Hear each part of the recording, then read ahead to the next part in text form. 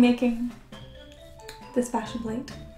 Uh, spoiler alert, I've already made the bodice. I just didn't get around to filming this intro until just now. Um, so a friend of mine, Logan, he came to me back in December and asked if I wanted to recreate a fashion plate. And I was like, heck yeah. Because I had so much fun in October doing the historical Halloween uh, where I recreated this beautiful 30s autumnal costume and it was just so much fun so I wanted to try again. Let's get started. I searched through my patterns and books and I don't really have any Edwardian books but I do have this one here uh, which is the 1890s and I came across this pattern. It's got the gathered waist into the belt, which is what I was looking for, and it's also pretty flat. Up here, it also has this little box pleat that I thought could work for the two lines at the front. Um, and it would also serve to hide the hooks and eyes uh, for that front closure.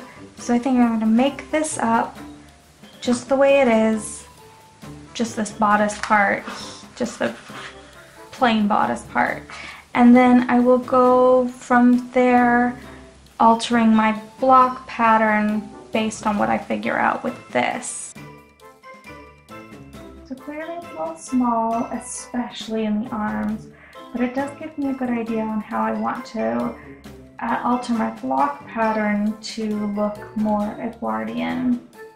Um, but yeah, I, I do like this little front box pleat thing. I don't know if I want to fully sew it down like that. I was just experimenting.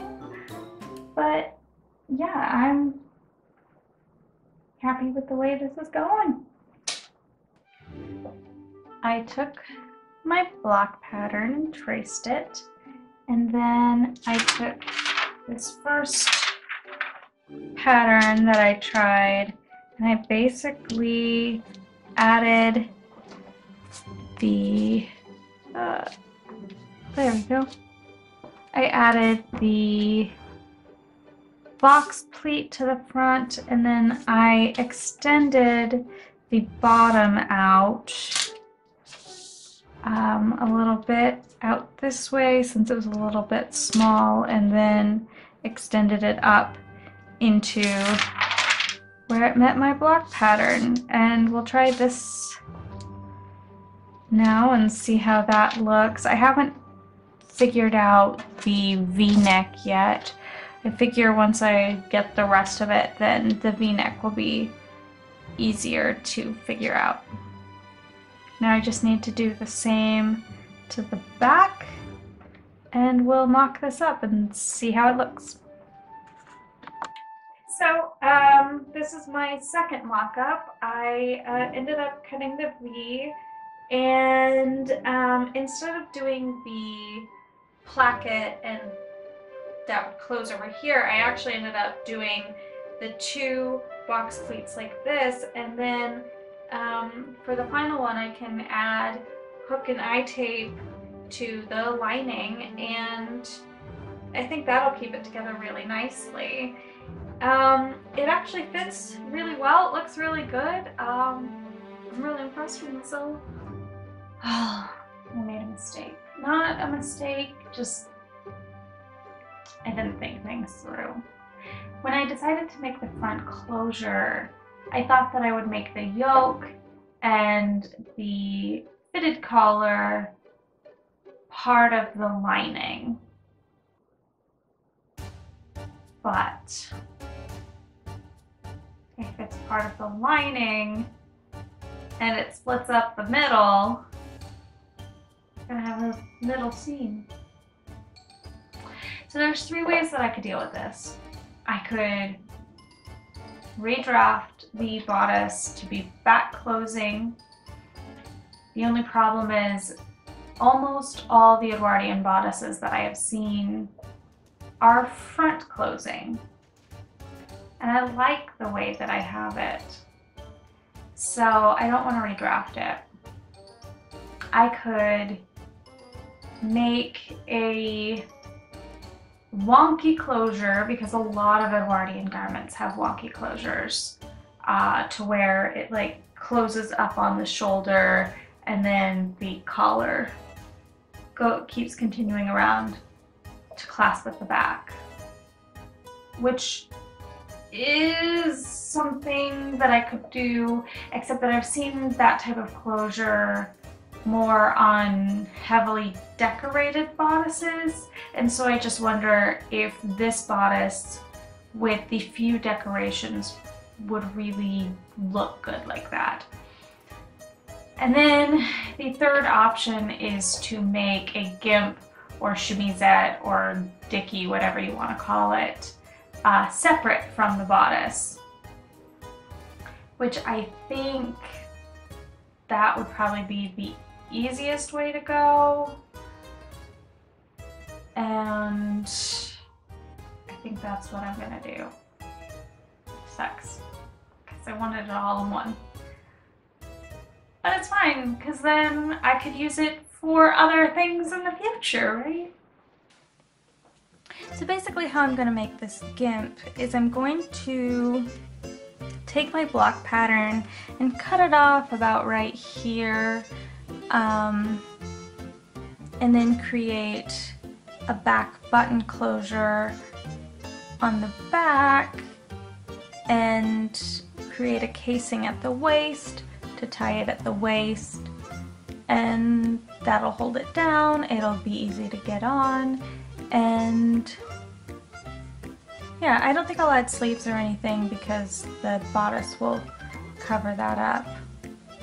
Well finished it but I have to start all over I was too lazy to put my corset on while I was making it and just assumed it would fit and of course it doesn't. See this blue line? That is where the shoulder is supposed to be. The shoulder's sitting about here right now.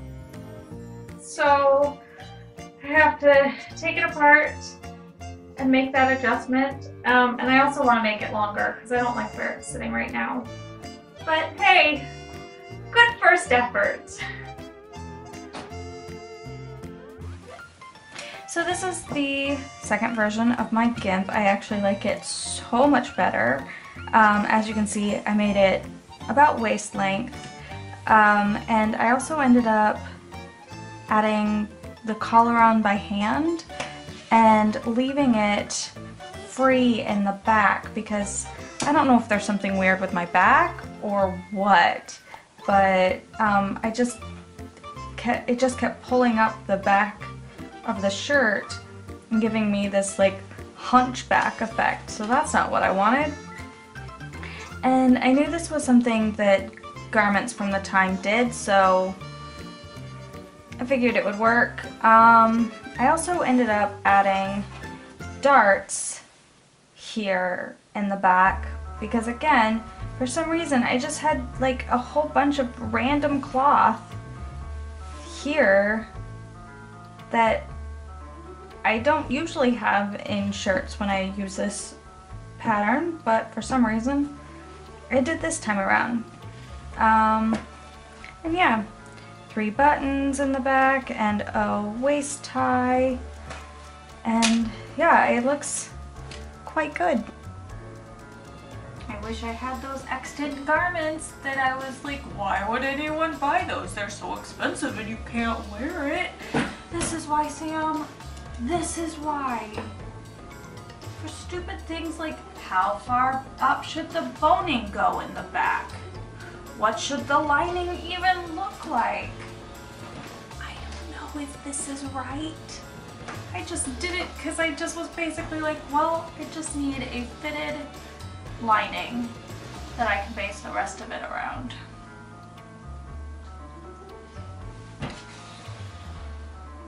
Okay, I think I decided I'm just going to do it up the back about halfway, where the darts end. I think that's logical. It's not to be perfect, but it's like my first like real attempt at historical accuracy, so it's not gonna be perfect. Just let it not be perfect, Sam. We got the lining all together. I sewed in the hook and eye tape, and now I'm just working on the outer fabric of the bodice. Um, I have basted the arm sides together and I have basted the back together. Now I'm just working on how I want the front to sit. Um, I left it long on purpose because I didn't exactly know how it was going to look with the lining underneath. But um, now what I've decided to do is cut this um, outer bodice to the length of the lining at the front and then I'm leaving this a little bit long. It curves down like this and gathers up so that it has a little poof in the front. Um, and now I just have to do it on this side and baste all of this down and then I will um, finish the waist with uh, bias binding and I guess work on the sleeves. I have no idea what I'm doing for the sleeves yet. After going through my sleeve collection, unfortunately, I have a lot of puffed sleeves, but not a lot of fitted sleeves, so this is what I came up with. I think I'm gonna do this sleeve, and I may need to alter the sleeve head to fit, we'll see, and then I'm gonna use this cuff sleeves are done. That took me way too many tries to set these sleeves. And I'm just kind of meh about the bodice right now. It looks better on me than it does on my dress form because it's not my size. But I just kind of want to give up. But we're gonna press on. At this point, I was so tired and I just wanted to get it done. So I just went on Etsy and I bought this collar pattern from a seller named Ali Sprout, which I will link down below.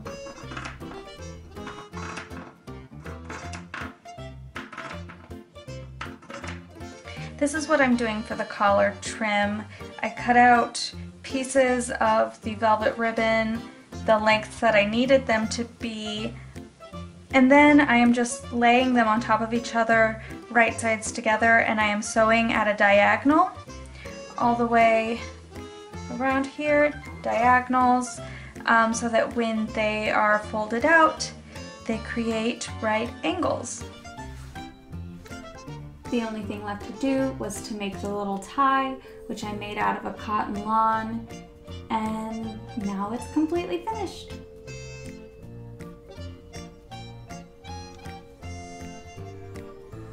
This bodice actually took way more time and effort than I expected it to. I didn't expect it to be easy, but I didn't expect to have to like redo things several times. What I didn't show you is I actually made the lining twice um, because the first time I just forgot seam allowance and then when I cut it out the second time I added seam allowance and I added seam allowance to the outside bodice too except for the armscye and the outside bodice. Why? I don't know. So my sleeves are sewn on with only a quarter inch seam allowance.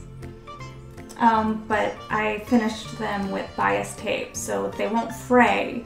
So that should work, but stupid mistakes. Stupid mistakes.